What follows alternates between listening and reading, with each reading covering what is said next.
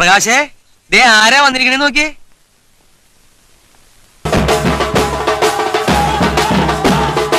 അന്യായം അണ്ണാ അന്യായം. നല്ല അഭിപ്രായം. ഒരു മിനിറ്റ് ചേട്ടാ പടം കണ്ടിട്ട്. അത് എഴുപത്തിരണ്ട് വയസ്സാറിന്റെ പൂണ്ട വിളയാട്ടം. സെക്കൻഡ് ഹാഫ് ഒരു രക്ഷയില്ലാത്ത രീതിയിലാണ് പോയേക്കുന്നത് ഒന്നും പറയാനല്ലേ അടിപൊളി അടിപൊളി. അപ്പൊ വെക്കടാ വെടി ഹിറ്റായോ? കൊള്ള ഹിറ്റ് ആയോന്നോ ബമ്പറാ സാറേ. കിടിലം പടം അടിപൊളി പടം. നമ്മൾ എന്ത് വിശ്വസിക്കുന്നു എന്ത് കാണാൻ ആഗ്രഹിക്കുന്നു അത് നമ്മളെ ഫുൾഫിൽ ചെയ്തിട്ടേ ആ തിയേറ്ററിൽ നമുക്ക് ഇറങ്ങാൻ പറ്റൂ சூப்பரா இருந்துச்சு அப்படியே பட்டையை கிளப்பிட்டீங்க எனக்கே விசில் அடிக்கணும் போல இருந்துச்சு தெரியுமா ഒരു രക്ഷയില്ല ഒരു രക്ഷയില്ല കാരണം ഇത്രയും നാൾക്ക് ശേഷം ഒരു മലയാളത്തിൽ ഒരു thrill- ഒരു ത്രില്ലർ സെഗ്മെന്റ് ഇൻവെസ്റ്റിഗേഷൻ സെഗ്മെന്റിൽ ഒരു സിനിമ ഇറങ്ങിയിട്ട് ഇത്രയും സാറ്റിസ്ഫൈഡ് ആയിട്ട് ഇറങ്ങിയിട്ടില്ല ഞാൻ ശരിക്കും ഇംപ്രസ്ഡ് ആയി ഈ അടുത്ത കാലത്ത് അങ്ങനെ ഒരു കഥ വന്നിട്ടില്ല. ഇതിപ്പോ ഒരു നാല് നാലര വർഷത്തെ അധ്വാന.